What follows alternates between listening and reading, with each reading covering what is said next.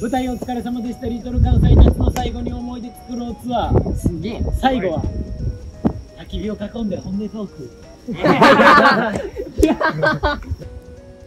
全員がやらなあかんっていうのは分かってんねんけど、そこで自分が悪役になってまで行動に移してくれてるのはどうやなと思うし、コタちゃんがおればリトル関西の色は変わらないんじゃないかなと思って仕事には実は仕事にしっかり向き合ってますみたいなそのかっこいい。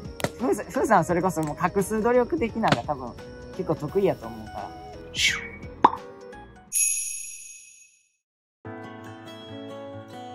というわけで、はい。舞台お疲れ様でした。リトル関西夏の最後に思い出作ろうツアーも。最後ですね。わあ。ー最終回最後か。どんぐらい続い何個ぐらいやってシャープ7とか。7 7ですね。7。7回連続か。うんもう今は夏何やってたかファンの皆さん忘れてる可能性ある。あるあるよ。10月中盤とかやってたから上がる頃。ほんまやね。もしかしたら。というわけで舞台お疲れ様でした。リトル関西夏の最後に思い出作ろうツアー。最後は焚き火を囲んで本音トーク。気持ち悪い。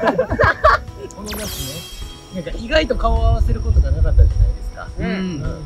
というわけでメンバー一人一人への思いみたいなの。をね4から来るってこと？そうそうそう。4そういうこと。照れくさいからね。リトくんちゃってな、そう意外にな、全員がな、結構全員ツンデレなとこあるまあカメラ回ってないと言えないことやな焚き火囲んでないと言えないことを照れくさいから。やっぱり、引っ張っていく力が多分リトカンで1、2争うぐらいあると思うし、一番外野から見えてるっていうか、トアが一言言ってからリトカンちゃんとするみたいなとこあるよ。だからそうやって外から見れる面のやつって多分少ないと思うから、これからもね、トアだけに負担をかけないように僕たちも頑張っていきたいと思います。俺今回夏松竹あれあの5人やったら絶対やってないような役やったから。そうか。からまあなんかめっちゃ不安やってんけど。トアがなんか毎日こうやったりしてるから感化されて。いつもお世話になってます。ありがとうございます。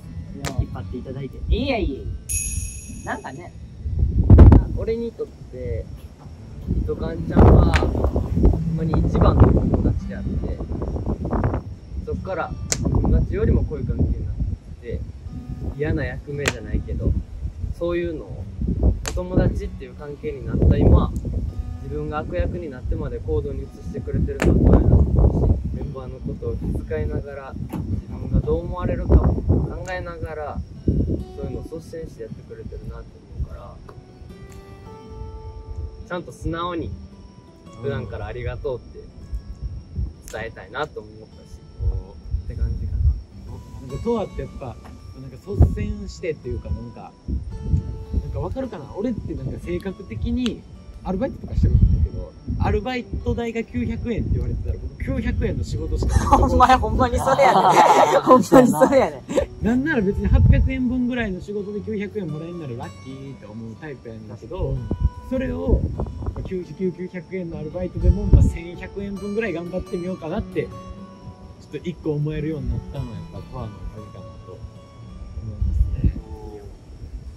りがとうございます。巻き足そう。ずっと思ってたよこいつが耐えると思ってなんかここ見てたらなん何の気まずさも。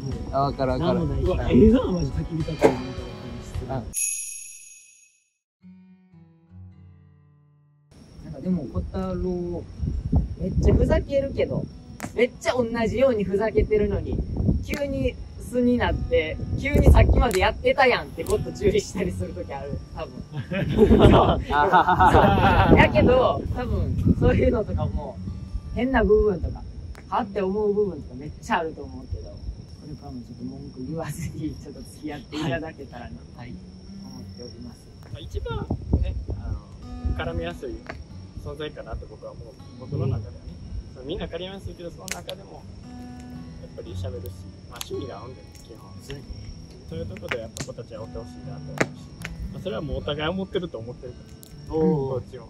付き合ってないやろ まあでも、まあこれからもね、普通によろしくお願いします。このままでお願いします。コタちゃんはグループのことを一番よく見てるなって僕は思ってるし、コタちゃんがおるから、リトルがリトルのままでいられてるなってめっちゃ思うから、まあこれもほんまに上からとかじゃないけど、ほんまにコタちゃんがすっげえかっこよくなって、すっげえ人気になって、っていうのが、すごくもう目に見えてわかるっていうか、なんか、メンバーとしてもファンとしても一番応援している存在だなって思ってますね。これからもよろしくお願いします。はい。トップオーターとして。はい。トップオーター内はい。一番応援してるならね。内面的なもんはコタちゃんは変わってないなってめっちゃ思って、一人絶対変わらん人がおるからこそ、コタちゃんがおればリトル関西の色は変わらないんじゃないかなと思うんで、うん。やっぱリトル関西の色ってね、まあ大人になるにつれ大人っぽく変わっていった方がいいとか思うけど、まあそれはパフォーマンス的なところで変わっていって、なんか関係性とか、こういうところはやっぱり、こういうのが好きなファンの人が今いると思うんで、このまま大きくなっていけたらなと思うんで、これからも、コタちゃんをお願いそのままでお願いしますあ。りがとうございます。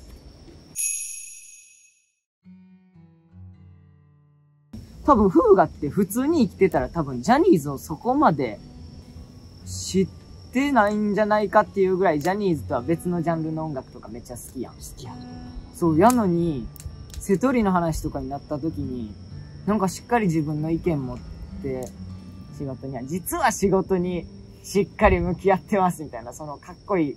ふーさん、ふーさんはそれこそもう隠す努力的なのが多分結構得意やと思うから、そういうかっこいい男になってもらえたらなと思います。はい、です。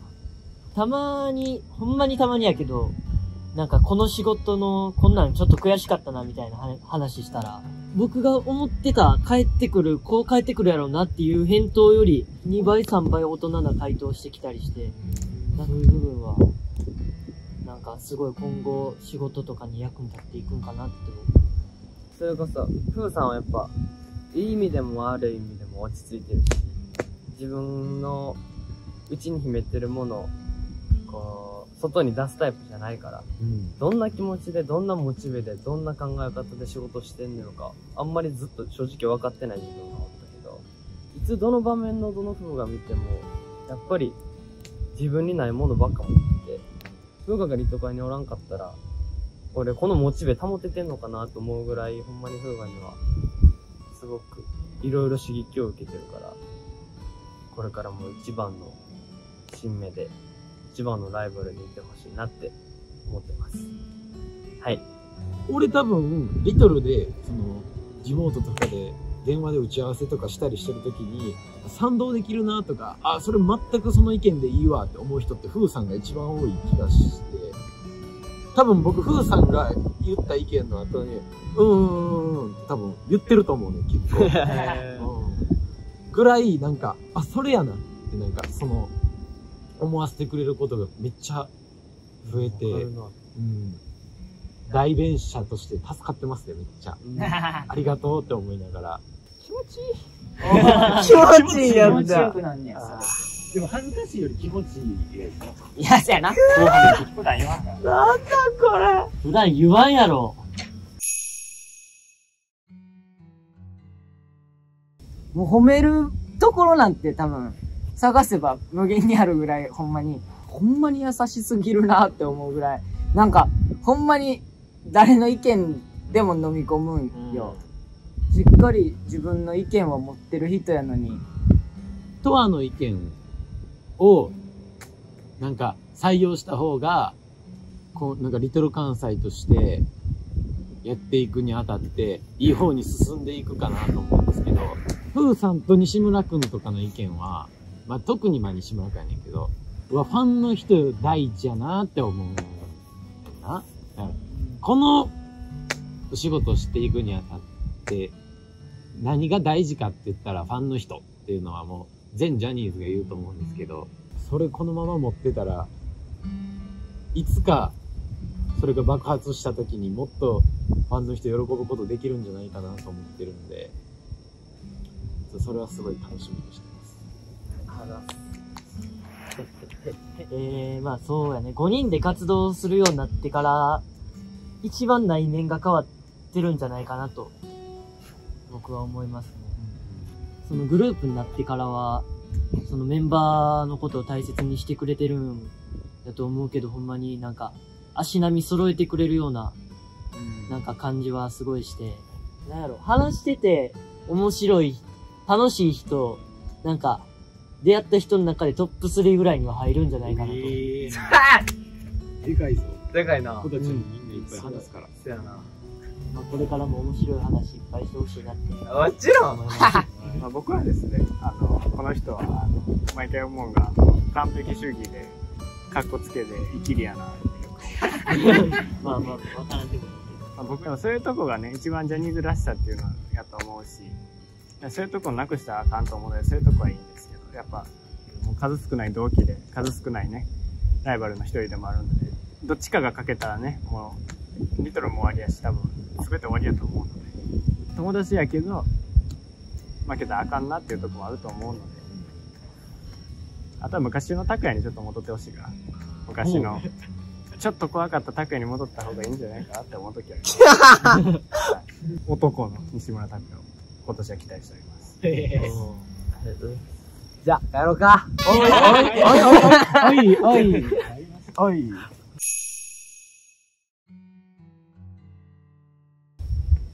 ルークはね、僕もう、バリ考え方違うと思う。ほんまに。違うよ。そう、でもほんまにたまにめっちゃ無視するよな。ほんまにたまにめっちゃ無視するめっちゃ無視時ある時ある。めっちゃ無視する時あるよなこ。のちゃんパスって思ってるもん。その時は。そう。そういう時もあったりで。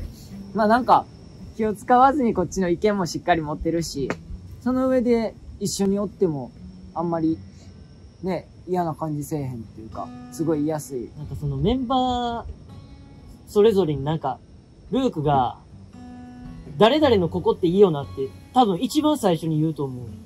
おうおうなんかそういうイメージすごいあって、すごい、まあ、心の安定剤というか、なんて言ったらいいんやろ。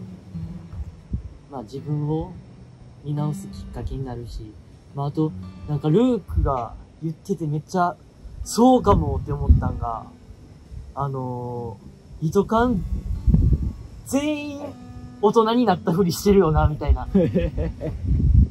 まあ言ったことあるね、一回そう。まあごめんそれめっちゃそうかもって思って。あなんかそういうたまにめっちゃ刺さった意見言うのが、なんか話してて面白いなって思うから、かそういう個性を大事にしていってほしいかなと思います。なんか一番さ常識人ぶってるやん。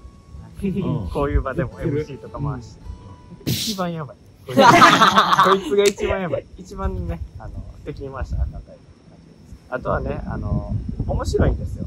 しゃ普段喋ってる時も。やっぱりあのお笑いの場とかやっぱ大人数の場になるとちょっと謙遜じゃないですけど。その物おじでもないけどそういうなんか引いてしまうとこがあるなって。あー、もう、その。外から見たら思うんですよ。だから誰か行けっていう時に、まあ、ルークいつもおもろいのにあんま行かんねんな。まあでも気にせず行ってほしいなって思うし。ルークは、あの、好きで、好きですね。嬉しい？告白？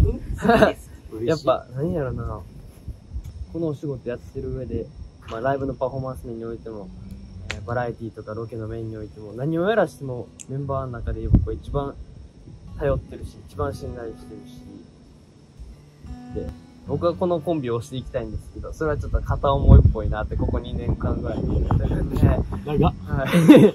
ちょっとまあ、この、この二人のコンビを、ともちゃんにもナンバーワンコンビだと思ってもらえるようにアピールし続けていこうかなって思ってます。はい。ありがとうございイます。いや、これ言うのも言われるのも同じぐらいとなんかワクワクするさっていうか、いいね。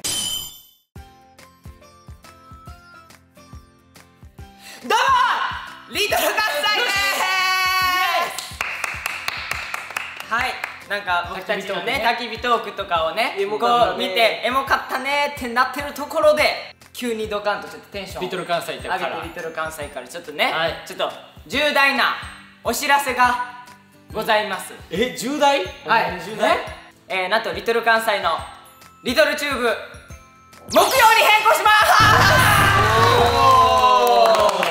す！火曜日に、あのなにわ A リトル関西が3グループ集まってた形になってたんですけど、はいはい。なんと僕たちがちょっと木曜日の方に移動することによって火曜日もそして木曜日も関西のっていうウエストさんがね9時に上げてるので火木が関西デーになるっていう。あれですよね。もともとトラベスジャパンさんがねはい。僕は担当してらっしゃいましたから。継ぐ継ぐという形。ねこれからリトル関西の YouTube 見るよって方は木曜日注目してください。お願いします。お願いします。一番の理解者は誰だ？小太郎クイズ誕生日と血液型はこれは簡単よこれまでメンバーからのプレゼントで正直困ったものは誰の何？あよかったですね。もうどうでしたかとか聞きません。親もなんで、もうみんなもう刺さってる顔してるもん。やっぱりね、年一回だよ。せやな。じゃあなんかそのこれはなんか仕事として入れられんとできへんから。そうだよたまに。ありがたい。ありがとうございます。ありがとうございました。いや、用意してもらって。ありがとうございます